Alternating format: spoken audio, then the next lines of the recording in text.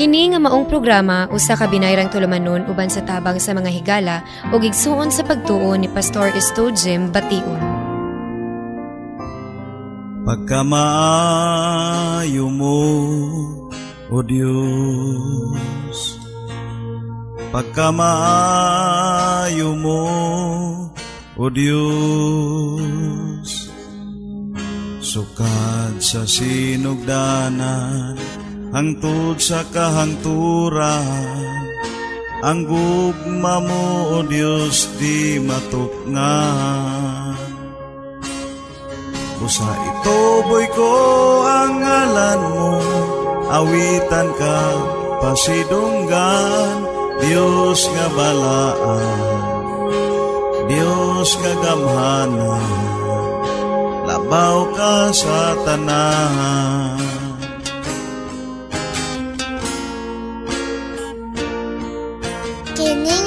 Programa gihatod kaninyo sa Studio Bation Radio Ministries Incorporated.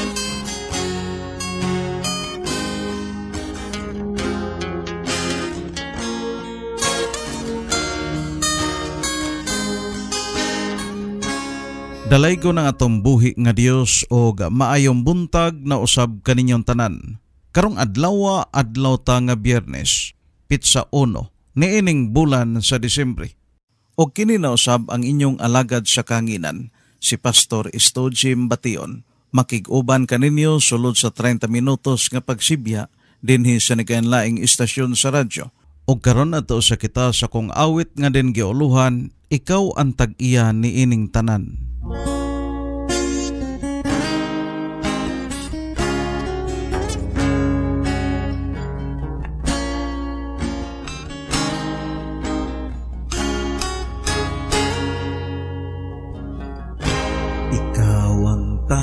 Tagiya sa kinabuhi ko. Ikaw ang naghatag na ko kahibalo. Ang akong kaalam nagikan kanimo ugwa ko'y angay ipasigarbo.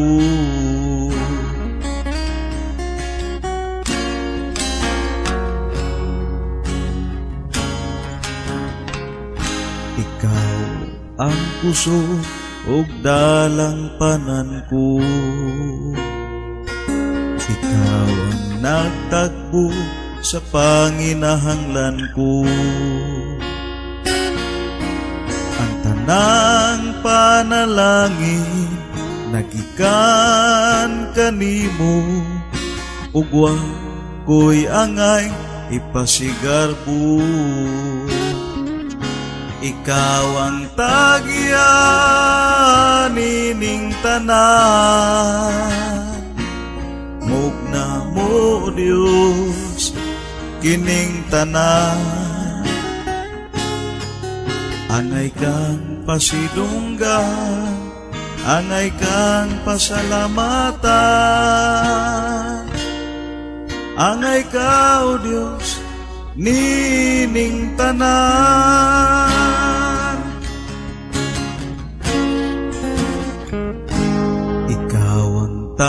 tagiya sa kinabuhi ko. Ikaw ang nagatag na ko kahibalo. Ang akong kaalam nagikan kanimo. Ugwa ko'y angay ipasigarbo ikaw ang tagyan ining tanan. Mugna mo Dios kining tanan. Angay kang pasidunggan angay kang pasalamatan. Angay ka o Diyos nining tanan ikaw ang tagyan nining tanan mugna mo Diyos kining tanan Angay kang pasidungga Angay kang pasalamatan Angay ka, O Diyos, nining tanan Angay ka, O Diyos, nining tanan Angay ka, O Diyos, nining tanan.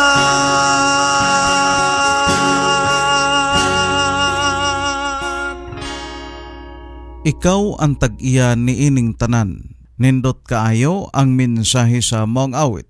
O karon tugutin na usab ninyo ako sa paghulam sa inyong panahon o sa inyong igdulong o ala na usab nining ato mensahe.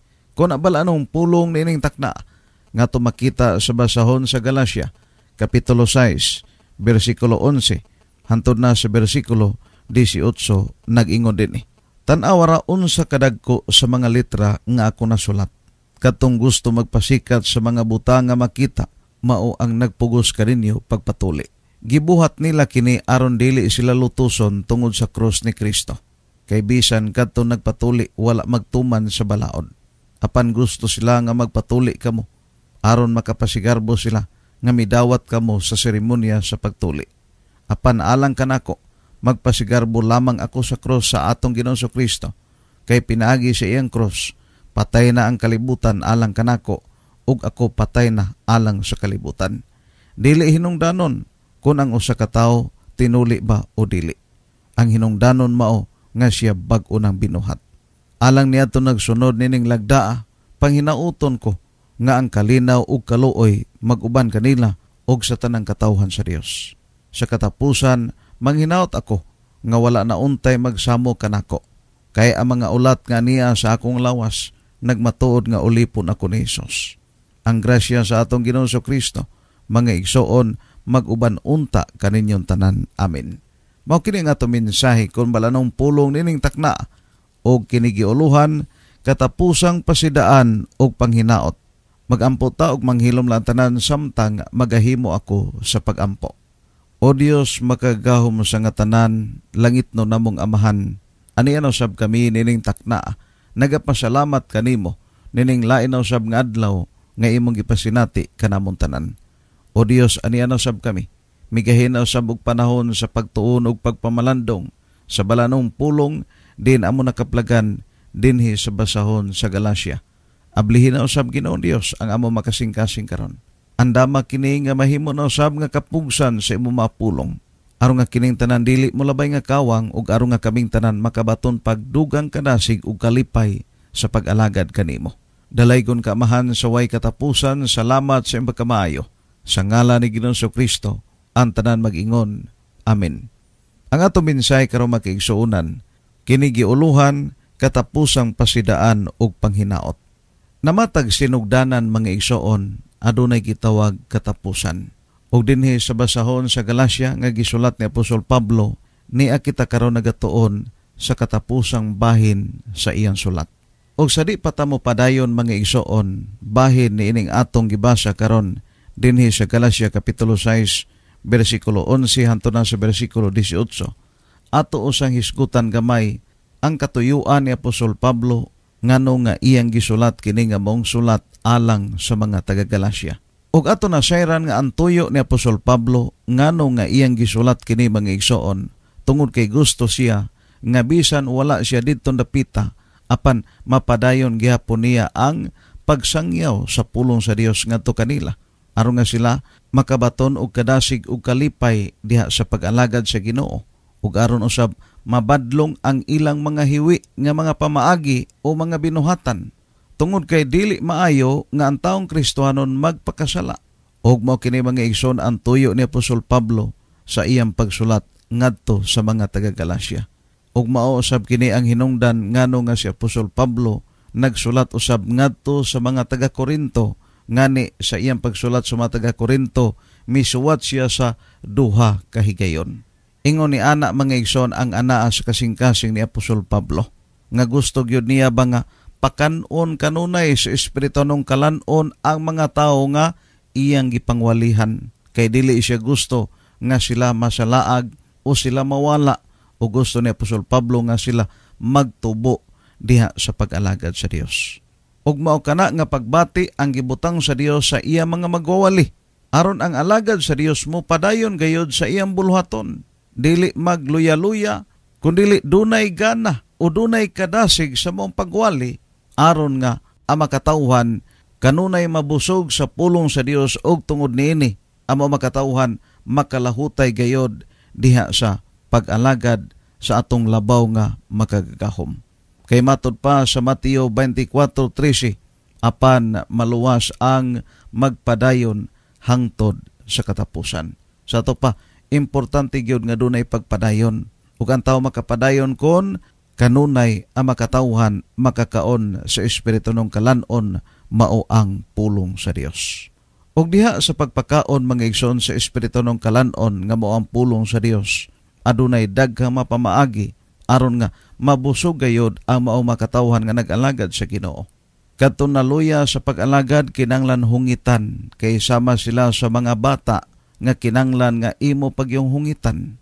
O katong hamtong na diha sa pag-alagad o sa ato pa nagtubo na diha sa espirituhanon, gahi-gahi na nga mapagkaon ang alang kanila aron nga tungod niini musamot silag tubo og musamot pagkalikon. O kining pulong sa Dios mga igsoon suginlan ko kamo ang tanan nga tawo nga makakaon niini batag tigulang lalakig babayi malig-on gayod og tungod na makalahutay gayod siya diha sa pag-alagad sa Dios ug mamahimong bag-o ang iyang kinabuhi at tubangan sa Ginoo. Noon diha sa pag-alagad sa Dios, do na mga pamatasan nga dugay gyud mausab. Kay mao kanay pinakalisod nga usbon mga igsoon sa kinabuhi sa tao kini atong pamatasan. Pero bisan pa niana kun padayon ta nga mamalandong, kun padayon ta nga magtuon sa pulong sa Dios dinhis kasulatan nan ang atong mabatasan o makinaiya hinay-hinay kini nga mabag-o og makaingon na dayon imo si katawo nga nabag-o na gyud ay siya dili naman siya sama kaniadto nga dali masuko. Dili na siya sama kaniadto nga kun hilabtan mo balos dayon. Doon na, siya pagpugong sa kaugalingon kana tungod mga igsoon kay ang pulong sa Dios mituhop naman sa iyang kasing-kasing o kini nagapamuhat na diha siyang kinabuhi ug nahitabo kana tungod kay ang espiritu mao naman ang iyang gitugutan nga mao'y magdominar o mao'y magmando diha sa iya nga kinabuhi. Nanita mga igsoon ni atong gibasa karon dinhi sa basahon sa Galacia, Kapitulo 6, versikulo 11 hanto na sa versikulo 18 matod pa. Tanawa raon sa kadako sa mga litra nga ako nasulat. Mga igsoon dinhi sa versikulo 11 giskutan nga sa pagsulat ni Apostol Pablo alang sa mataga Galacia iyang gidagko ang mga litra. Ug iya kining gituyo mga igsoon nga dagko ang litra aron nga kadtong mga tigulang na makaklaro gihapon ug aron nga mabasa gyud nila tanan ang tuyo ni Apostol Pablo mao ang pagdasig kanila ug pagtambag kanila sa mga maayong giya sa kinabuhi. Tungod kay usi kaayo kun sa iyang pagsuwat iyang ginagmayon kay kadto matiguang na di naman to makaklaro sa gagmayng litra. Ingon ni ana mangigson ang pagwali ang pagpaambit sa pulong sa Dios ngadto sa makatawhan nga kinanglan kini klaro gayod aron nga tungod nini daghan ang makasabot og daghan unya ang makabaton sa kadasig sa mong pag-alagad sa Ginoo. Sama panalitan mga igsoon ni ato mga sibya sa radyo. Natingala tingali kamo nganong daghan ang masibyaanan nga atong giwalihan. Tingali ang uban mo ingon nga gausik-usik ra kag kwarta pastor. Makapalit na untag kag sakyanan ni ana kung wala pa nimo daghana ang maistasyonan nga imong giwalihan mga igsoon ato kining gituyo aron nga daghan ang mga dapit nga klaro kaayo nila nga madungog ang atong wali. Aron nga tungod niini ilag yung masabtan pag-ayo ang atong gipaambit nga pulong sa Dios dinhi sa radyo. Kay dunay mga dapit mga igsoon nga layo na kaayo ang atong tingo usay mawala-wala na. Ngani dunay mga dapit nga atong pagwali sa pawanag mga insik nga sunata.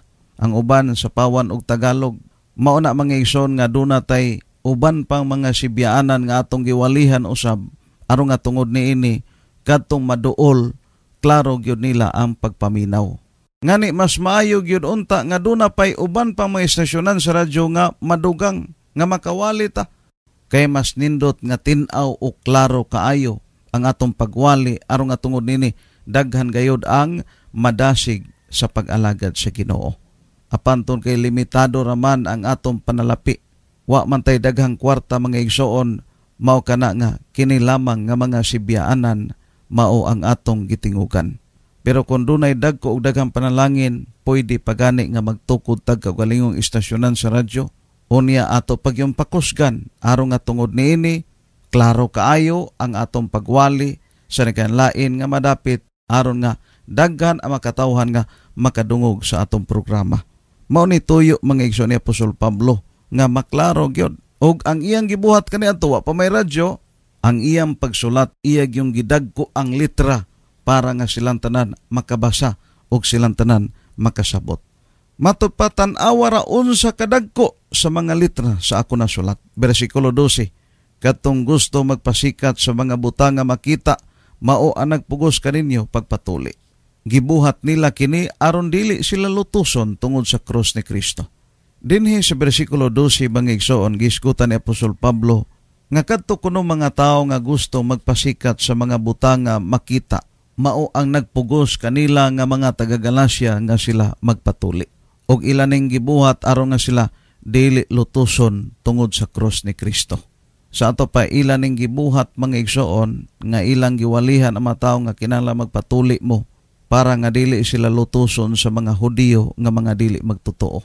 Mao na nga wa ganay si Apostol Pablo nila kay nanalaw man sila sa ilang pag-alagad sa Ginoo, kulang man silang kaisog, Noon kining tao mga igsoon lain-lain manggupod og prinsipyo o mga baruganan.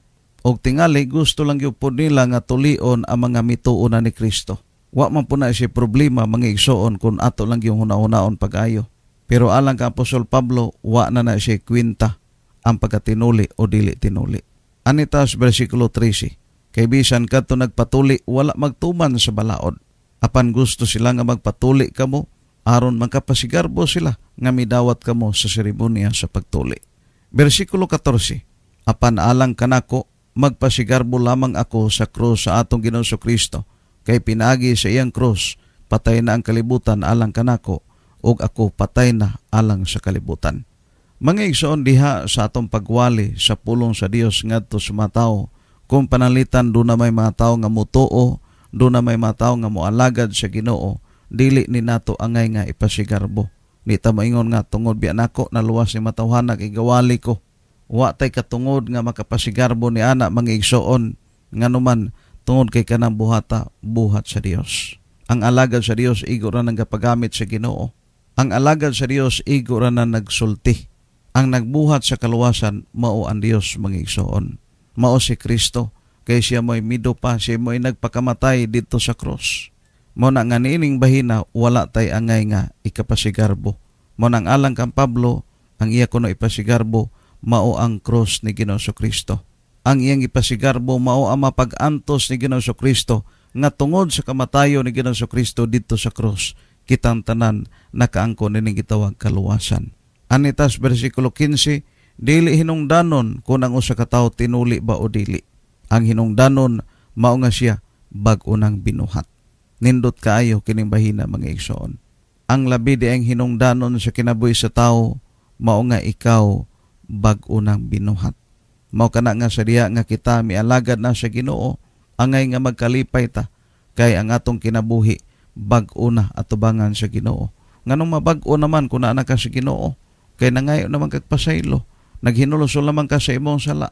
Sa ato pa, limpyo na ang imong kasing-kasing, di nahugaw, og anang panahona matawag na tanga bag-ong binuhat. O kung bag-o na tang binuhat at ubangan sa Ginoo kinanglan magpabilin ta ingon nga bag-o og dili mo balik sa kinaiya sa daan nga kinabuhi.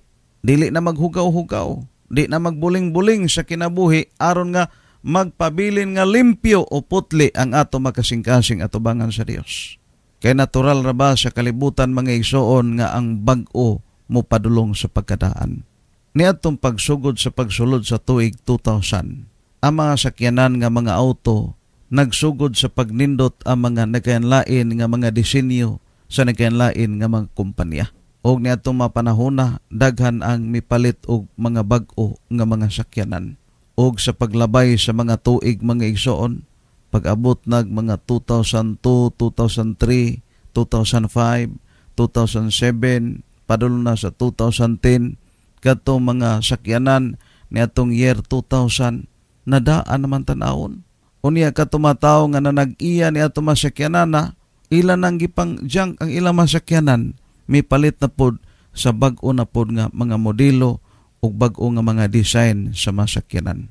Niining bahina makaingon ta nga bisan pagyuday unsa ka bag-o sa butang moabot gyud ang panahon nga kini madaan og mapulihan na usab og lain na usab nga bag-o. Kinanglan mga ison ang tao nga bag-o nang binuhat at ubangan sa Dios kinanglan nga magpabilin ta nga bag-o kanunay alang sa mga mata sa uban. Aron nga kita mahimong iwag, mahimong kahayag ni ining ngit-ngit nga kalibutan. Aron nga tungod na mahimutang panalangin kanila og pinagi sa atong pagpabilin nga bag-o kanunay daghan unya ang makatauhan nga ato madala diha sa tiilan sa Dios. Ug mo kanay labing hinungdanon mangigsoon sa kinabuhi sa tao nga siya bag-o nang binuhat. O kinanglan bag-o na ka diha sa pag-alagad kinalan pabilin ka sa kabag-uhan sa kinabuhi. Ugma ato kining padayonon sa bersikulo 16 santo na sa bersikulo 18 ug karong panahon na usab nga kumagahimo sa pag-ampo. Akong gangyon tanan sa pagpangluhod atong piyungon ang atong mamata Niyaton dunay balatian ihikap ang imong kamot sa radyo. Niyaton dunay problema isalig sa Dios ang tanan. Ang tanan ninyo nga pablisingan andaman na. Kay magahimo na sa bako sa pagampo ban sa awit nga naguluhan sa diyo tayong hikap mo Ginoo.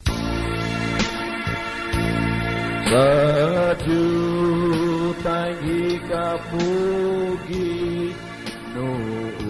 Amahan namo nga langit non Dios nga balaan mapasalamaton kami sa mga pulong nga mo natun-an karon og napamalandungan.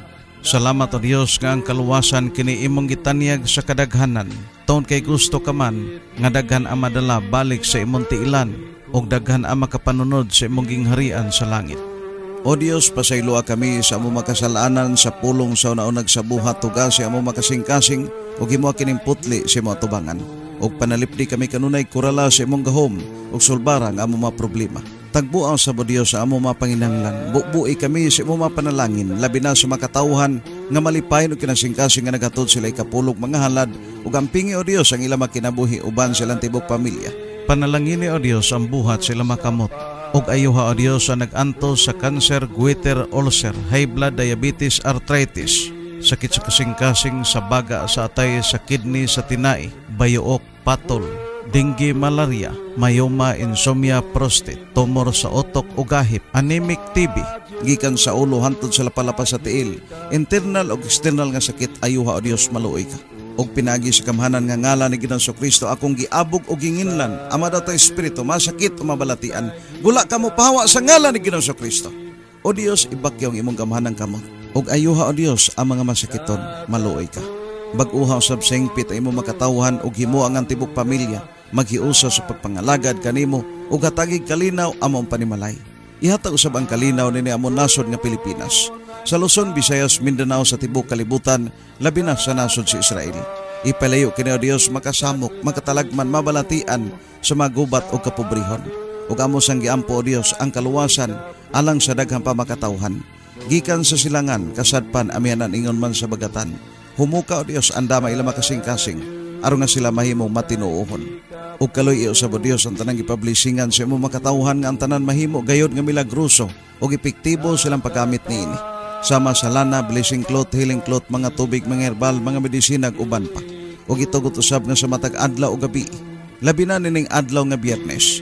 Ngang imo lang itong tabang kaloy grasya pagpanalipod o pagpanalangin amon usab nga maambitan. O Dios dalaygon kasulay katapusan sa ngalan ni Ginoso Kristo. Amen. Sa Diyos ang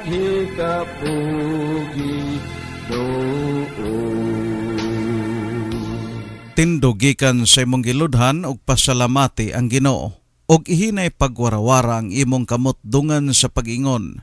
Hallelujah, praise the Lord. Salamat Ginoon Dios sa imong pagkamaayo sa akong kinabuhi Salamat usab sa mga milagro. Kaayuhan ingon man sa mga panalangin. Karong Disyembre 3 adlaw nga Domingo ang ato nga mga panagtigom anha pagaymoon sa Municipal Plaza sa tubod Lanao del Norte alas 9 sa buntag. Disyembre 4 adlaw Lunes anha ako sa Kalinan Park, Kalinan Davao City alas 11 sa buntag. Pagka alas 2 sa hapon anha ako sa Magsaysay Park sa Davao City. Disyembre 5 adlaw Martes anha ako sa residensya ni Tatay Jobil Makuto Senior alas 8 sa buntag sa tabing ilog New Corelia, Davao del Norte at bang sa Palingki. Pagka alas 10 anha ako sa residensya ni Tatay Rudy ug Nanay Marcy Salmon sa Purok Busilak, Pereira Street, Magugpo West, Tagum City. Dool sa Jollibee Drive-Thru, unahan gamay sa basketballan kanhi Osminia Extension. Pagkalauna sa hapon, anha ako sa residensya ni Ninita Luga sa Mandalihan Lupon, Davao Oriental, sulod sa flowing unan gamay sa Bano Bikiri, dool sa Aroma Beach Elementary School. Disyembre 6 adlaw Miyerkules anha ako sa Abit Salon, alas 9 sa buntag sa Porok 11 Fatima, Compostela, Davao de Oro, dool sa Menterio. Pagka alas 11 anha ako sa residensya ni Nanay Rosa Biho sa Porok 12 National Highway, Poblasyon na Bunturan, Davao de Oro, diha sa may Jesus Ice Cream. Pagkalas do sa hapon, anha ni Leticia Pamaong sa Itil Pharmacy, Tibalog, Santo Tomas, Davao del Norte. Disyembre City, Adlang Huaybis, anha ako sa District Plaza sa Toril, Davao City, alas 8 sa buntag. Pagkalas 9, anha ako sa residensya ni Susan og Efren Panerio sa Astorga, Santa Cruz, Davao del Sur at bang sa Tukwens Corporation nga nagbaligyag multicab dool sa Iskaygo. Pagkalas 11 anha sa residensya ni Marina Cariaga Malasarte sa Malasarte Compound, Daguhi Street, Digo City, Loyo sa RCBC. Pagkalauna sa hapon anha sa residensya ni Tatay Miguel Toripalma sa Jimbel Gihing Hagunoy, Davao del Sur.